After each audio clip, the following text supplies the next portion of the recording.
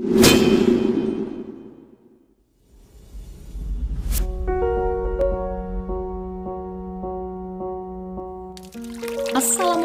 warahmatullahi wabarakatuh. Sahabat Muslim, surga merupakan tujuan akhir dari kehidupan yang dijalankan umat Islam di dunia. Di dalam surga tersimpan berbagai kenikmatan yang tak ada bandingannya. Makanya, orang beriman akan berlomba-lomba untuk bisa menuju ke sana. Mereka berusaha sebaik mungkin menambah catatan amal dengan memperbanyak ibadah dan amalan soleh. Allah Subhanahu wa taala berfirman, "Di dalam surga kamu memperoleh segala kenikmatan yang kamu inginkan dan memperoleh pula di dalamnya segala kenikmatan yang kamu minta sebagai hidangan bagimu dari Rob yang maha pengampun lagi maha penyayang. Al-Quran Surah Fuzilat ayat 31 hingga 32 Lalu bagaimanakah dengan neraka? Adakah orang yang mau dimasukkan ke sana? Seberapa besar pun dosa manusia, tentu ia akan enggan ke sana mengingat neraka adalah tempat terakhir pembalasan dosa-dosa dengan suasana yang mengerikan, penuh jeritan dan siksaan yang teramat pedih. Lalu pernahkah mendengar bahwa penghuni neraka kebanyakan dari kaum wanita? Dan amalan apa saja yang bisa menyelamatkan kaum wanita dari tempat ini? Temukan jawabannya dengan menonton terus video ini hingga akhir, tentunya hanya di Aprilia Channel.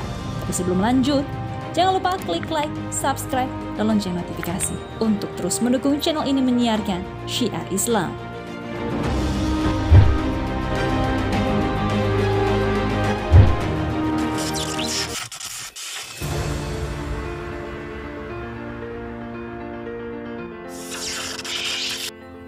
Terlahir menjadi seorang wanita bukanlah sebuah pilihan, namun adalah takdir yang telah ditentukan oleh Allah Subhanahu wa taala. Dan mereka wajib bersyukur karena Allah memberikan banyak keistimewaan baginya, termasuk salah satunya dapat masuk surga. Berbagai syariat dan aturan dalam Islam dibuat dalam rangka memuliakan wanita, antara lain perintah untuk menutup aurat yang bertujuan menjaga kehormatan dan kemuliaan wanita itu sendiri. Islam memberi perhatian terhadap kaum wanita, baik dalam penjagaan hak-hak maupun dalam berumur amalah. Banyak hal yang diwasiatkan kepada wanita, tetapi tidak diwasiatkan kepada laki-laki. Bahkan dalam khutbah Rasulullah Shallallahu Alaihi Wasallam di Arafah, beliau memberikan pengarahan khusus untuk wanita.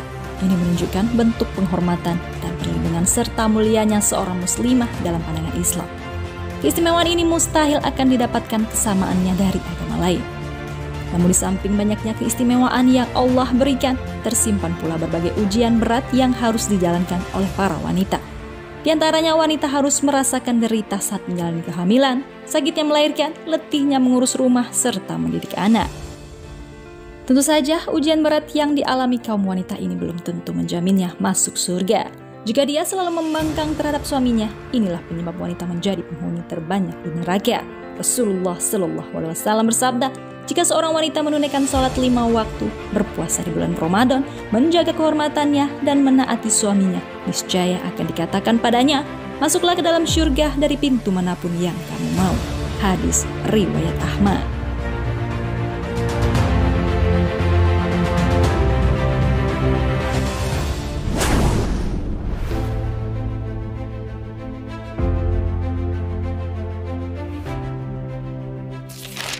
Menjaga sholat lima waktu.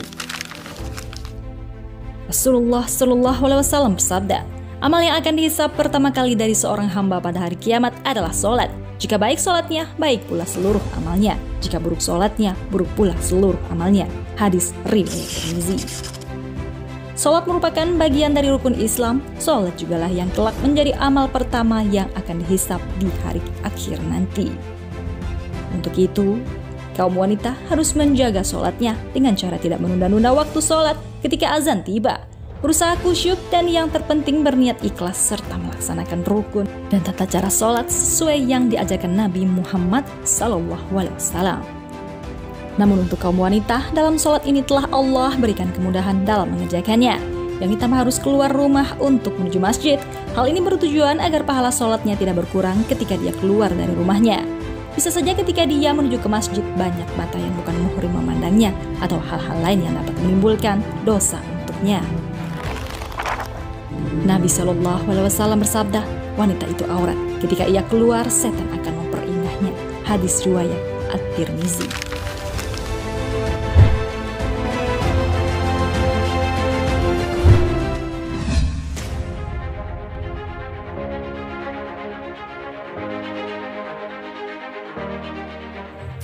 Berpuasa di bulan Ramadan. Puasa Ramadan juga merupakan rukun Islam yang wajib dikerjakan bagi siapa pun muslim yang telah balik, terkecuali ada uzur yang memang mengharuskan seorang muslim untuk tidak mengerjakannya. Puasa Ramadan adalah amalan penting yang memiliki banyak hikmah dan keutamaannya, di antaranya agar kita bisa mencapai derajat takwa. Lagi-lagi Allah berikan keistimewaan bagi kaum wanita, yakni wanita yang sedang nifas dan yang mengalami menstruasi di bulan Ramadan tidak dibenarkan untuk berpuasa. Namun mereka harus mengganti puasanya sesuai dengan jumlah hari yang tertinggal. Tak hanya itu, untuk wanita yang sedang hamil dan menyusui juga Allah berikan keringanan untuk boleh tidak berpuasa dengan cara membayar fidyah atau mengganti puasanya termasuk wanita yang sedang nifas. Menjaga kehormatannya, Dahulu, seluruh manusia memandang hina kaum wanita orang-orang Yunani menganggap wanita sebagai sarana kesenangan belaka, sedangkan orang-orang Romawi memberikan hak atas seorang ayah atau suami untuk menjual anak perempuan atau istrinya. Namun setelah cahaya Islam datang, segala bentuk kezaliman dan kehinaan bagi kaum wanita telah dimusnahkan. Betapa Islam sangat memuliakan para wanita, layaknya mutiara yang harus dijaga. Untuk itu, banyak aturan Islami yang dibuat demi melindungi dan menjaga kemuliaan wanita itu sendiri. Di antaranya perintah menutup aurat, menjaga kehormatan di hadapan laki-laki yang bukan suaminya dengan cara tidak bercampur baur dengan mereka. Lebih banyak tinggal di rumah, menjaga pandangan dan tidak memakai wangi-wangian saat keluar rumah.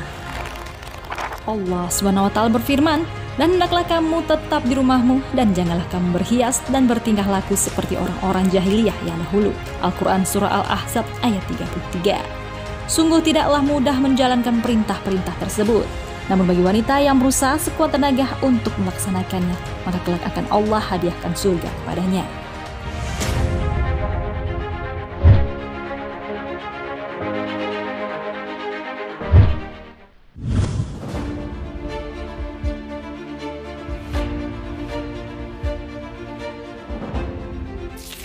Taat kepada suami Sebagai seorang istri, mereka diperintahkan untuk taat kepada suaminya dalam berbagai hal selama tidak bertentangan dengan syariat Islam. Bahkan setelah ijab kabul terucap, suamilah yang wajib dahulu ditaati dan dipenuhi hak-haknya dibandingkan kedua orang tuanya.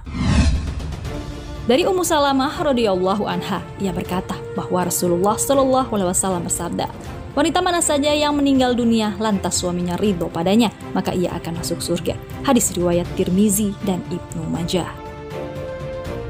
Abu Hurairah radhiyallahu anhu juga menyampaikan bahwa pernah ditanyakan kepada Rasulullah Shallallahu alaihi wasallam, Siapakah wanita yang paling baik? Jawaban beliau yaitu yang paling menyenangkan jika dilihat suaminya, mentaati suami jika diperintah dan tidak menyelisihi suami pada diri dan hartanya sehingga membuat suami benci. Hadis riwayat An-Nasa'i. Dari hadis tersebut menjelaskan bahwa wajib bagi wanita untuk menataati suaminya dan selalu menyenangkan hatinya karena sesungguhnya untuk kaum wanita yang akan dihisap di hari akhir nanti, yakni pertama sholatnya dan yang kedua hubungan dengan suaminya. Wallahualam. Demikianlah empat amalan yang kelak bisa membuat wanita masuk surga lewat pintu mana saja yang dia inginkan, berdasarkan hadis Rasulullah Shallallahu Alaihi Wasallam. Maka wajib bagi wanita untuk berusaha mengamalkannya meski dengan susah payah dan penuh perjuangan dan pastinya Allah Subhanahu wa taala akan menggantikannya dengan surga yang penuh kenikmatan.